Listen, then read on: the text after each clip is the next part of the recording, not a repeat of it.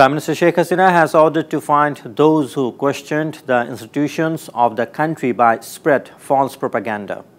The Premier came up with the order while addressing at program marking RAB's 19th founding anniversary at Kurmitola in the capital. Meanwhile, the head of government urged the law enforcement forces to work together with parents and teachers to suppress militancy, drugs and juvenile gangs.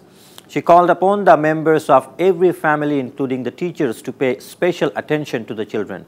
Prime Minister Sheikh Hasina also said efforts are on to ensure that no one can make a profit, profit by keeping the prices of products high during the month of Ramadan.